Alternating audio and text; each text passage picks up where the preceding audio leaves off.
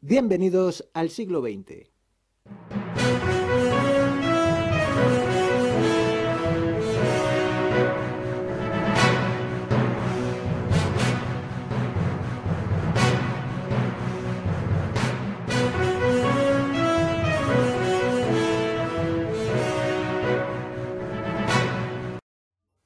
Sindicatos de putas, putos y chaperos.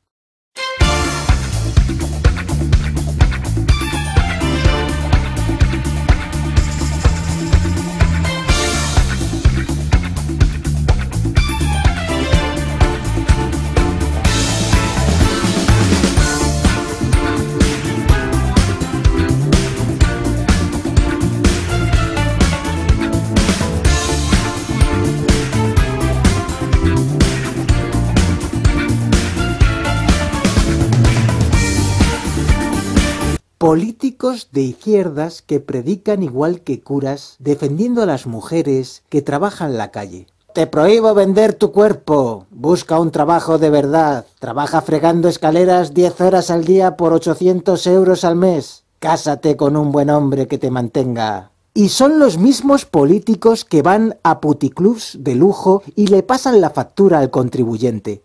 Ahora, viéndolo con la óptica del nuevo prisma, se podría decir que las películas de Pedro Almodóvar son publicidad de extrema derecha. La moderna izquierda feminista se posiciona predicando los viejos dogmas de la Iglesia. Proteger a las mujeres como si fuesen seres indefensos, que no tienen capacidad para pensar de forma autónoma.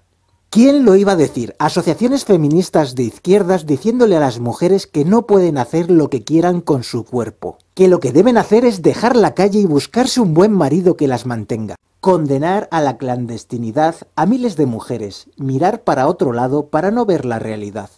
La prostitución se puede ilegalizar, incluso se puede condenar a penas de prisión o a la lapidación a las mujeres que la ejercen, como sucede en algunos países tercermundistas. De cualquier manera, con o sin abolición, el oficio seguirá existiendo. Hay países donde la religión y el gobierno condenan enérgicamente la prostitución.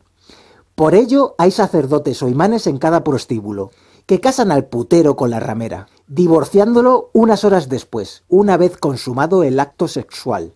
Pura hipocresía, esposas temporales o prostitutas. Así se lo permite el matrimonio temporal Sigen, que contempla el Islam. Muchos iraníes temen que sirva para promocionar la prostitución. Por un lado, la ley islámica vigente en Irán prohíbe las relaciones. El Islam permite el matrimonio hasta con cuatro mujeres. Las relaciones sexuales fuera del matrimonio están prohibidas. Sexo por contrato en Irán.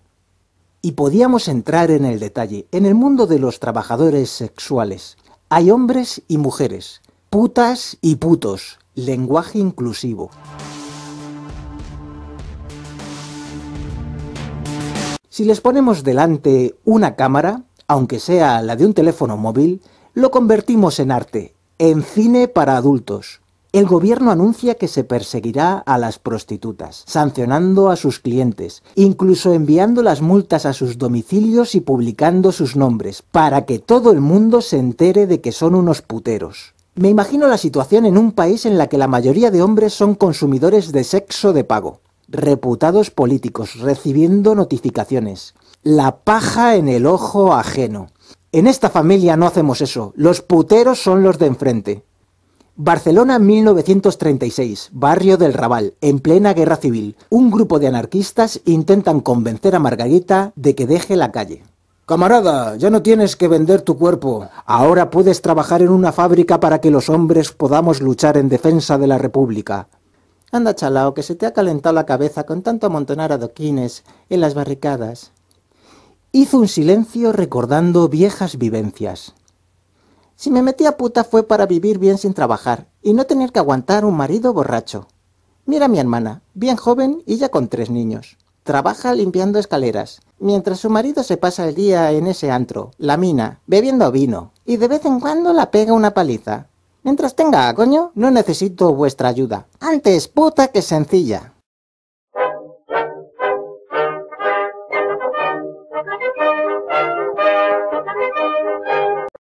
Lo más curioso del asunto es que el gobierno no menciona en ningún punto a los proxenetas, ni se les persigue ni se les castiga. Cuando veo a un blanco defendiendo los derechos de los negros y a un negro defendiendo los derechos de los blancos, me parece sospechoso. Cuando veo a un hombre defendiendo los derechos de las mujeres y a una mujer defendiendo los derechos de los hombres, me parece sospechoso. Cuando veo a un rico defendiendo los derechos de los pobres y a un pobre defendiendo los derechos de los ricos, me parece sospechoso el primero y gilipollas el segundo. Religiosos católicos, frailes, curas y monjas defendiendo los derechos de los musulmanes y a los musulmanes defendiendo los derechos de los cristianos. Eso no lo he visto en mi vida. Me parece sospechoso. Lo normal, lo lógico y lo natural es que cada persona defienda lo suyo. Tanto altruismo, tanta filantropía me hace dudar del verdadero motivo. Sentirse mejor que los demás, multiplicar el pan y los peces, convirtiendo el agua en vino, creerse Juan, Pedro, Jesucristo o la Virgen María. Nadie elige ser Judas ni María Magdalena.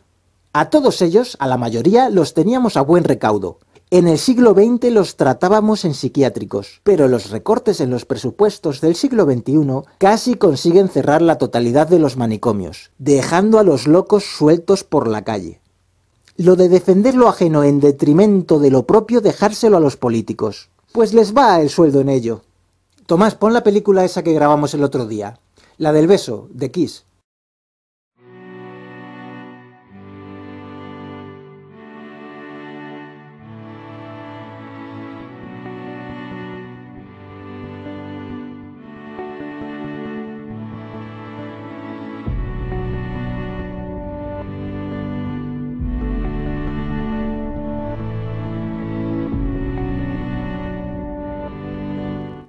Podéis enviarme vuestros comentarios por correo postal o por telegrama.